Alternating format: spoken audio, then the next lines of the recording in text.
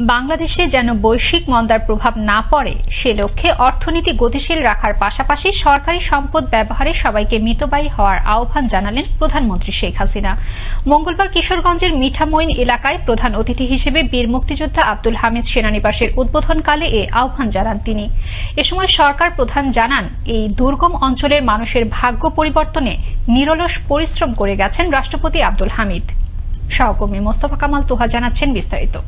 Area সদর দপ্তর ঘাটালের সার্বিক তত্ত্বাবধানে কিশোরগঞ্জ জেলার মিঠামাইন এলাকায় প্রধান অতিথি হিসেবে বীর মুক্তিযোদ্ধা আব্দুল হামিদ সেনানিবাসের উদ্বোধন করলেন প্রধানমন্ত্রী শেখ হাসিনা। মঙ্গলবার বেলা এগারোটা বিশ মিনিটে মিঠামইনের ঘোড়াউত্রা নদীর তীরে ফলক উন্মোচনের মাধ্যমে এই সেনানিবাস উদ্বোধন করেন তিনি।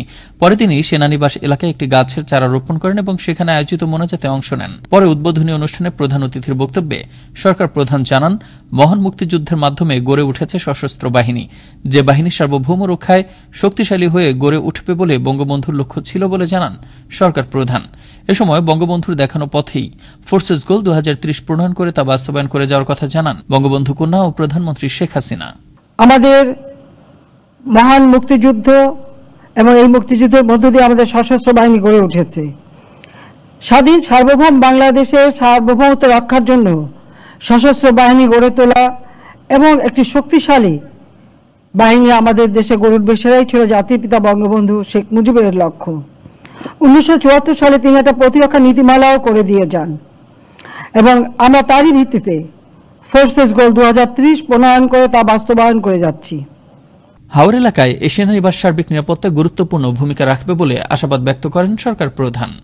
আজকে আমরা এখানে এসেছি এই মিঠামহিনের কিশোরগঞ্জ জেলার নবপ্রতিষ্ঠ বীর মুক্তিযোদ্ধা আব্দুল হামিদ সেনানিবাস হাওর এলাকার সার্বিক নিরাপত্তায় গুরুত্বপূর্ণ ভূমিকা রাখবে বলে আমি মনে করি। এ সময় আওয়ামী লীগ সভাপতি ও প্রধানমন্ত্রী শেখ হাসিনা রাষ্ট্রপতি মোহাম্মদ আব্দুল হামিদের বর্ণাঢ্য কর্মময় জীবনের ভূয়সী প্রশংসা করে জানান রাষ্ট্রপতি হয়েই আব্দুল হামিদের ইচ্ছা ছিল এ অঞ্চলে একটি সেনানিবাস প্রতিষ্ঠার। পাশাপাশি এই দুর্গম অঞ্চলের মানুষের ভাগ্য পরিবর্তনে রাষ্ট্রপতি নিরলস পরিশ্রম করে গেছেন বলেও জানান প্রধানমন্ত্রী। বীর মুক্তিযোদ্ধা আব্দুল হামিদ, যিনি আমাদের মহামান্য রাষ্ট্রপতি, তিনি এই অঞ্চল থেকে বারবার নির্বাচিত হয়েছেন।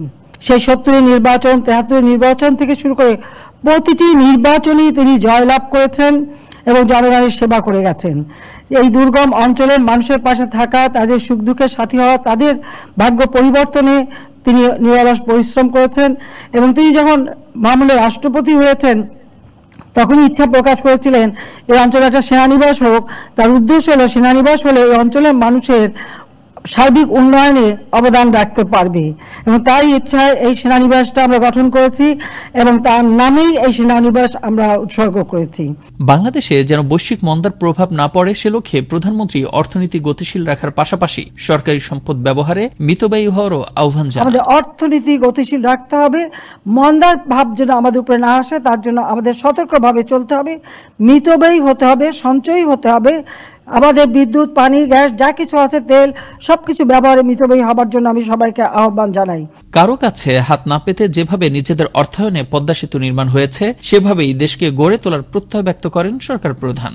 কারও কাছে হাত পেতে নয় আমরা নিজের উন্নতি নিজে করেই আমরা দেশকে এগিয়ে নিয়ে যাব। ঠিক যেভাবে আমরা নিজস্ব অর্থায়নে পদ্মা সেতু নির্মাণ করেছি ঠিক সেইভাবে আমরা দেশকে গড়ে তুলব সেটাই আমি চাই।